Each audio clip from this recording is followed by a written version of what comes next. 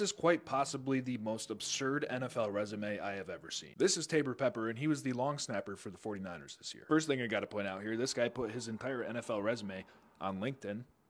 Good for him. But he's put all of his NFL long snapping experience on LinkedIn. You thought Ryan Fitzpatrick was bad? Take a look at this dude. So he started out with the Ravens, right?